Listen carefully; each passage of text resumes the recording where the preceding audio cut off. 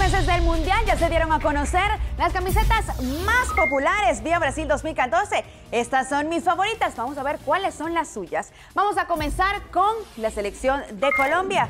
En su insignia, los cafeteros añadirán elementos tradicionales de su patria como el cóndor de los Andes, el sombrero volteado y además el color blanco simbolizando la paz. Seguimos con una de las favoritas y ella es Argentina, quien seguirá portando su camiseta tradicional de franjas celestes y blancas, añadiendo detalles negros, además de unas franjas doradas en los costados y cuello en B. Seguimos con una de las sorpresas y ella es Alemania, quien portará de blanco de pies a cabeza. Además, portarán una franja roja en el centro del pecho y conservarán sus estrellas. Estas estrellas son alusivas a las Copas Mundiales ganadas en 1954, 1974 y 1990.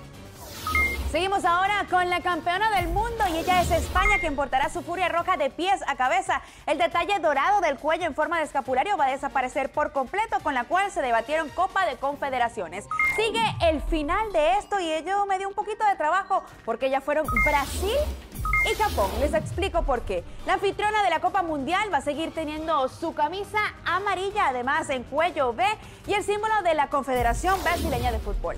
La única diferencia del símbolo es que ahora va a ser más grande y brillante. Los samuráis azules sí rompieron con el molde completamente con esta playera en un tono azul más juvenil. Además añadieron tonos rojo vivo en las mangas y en la parte posterior.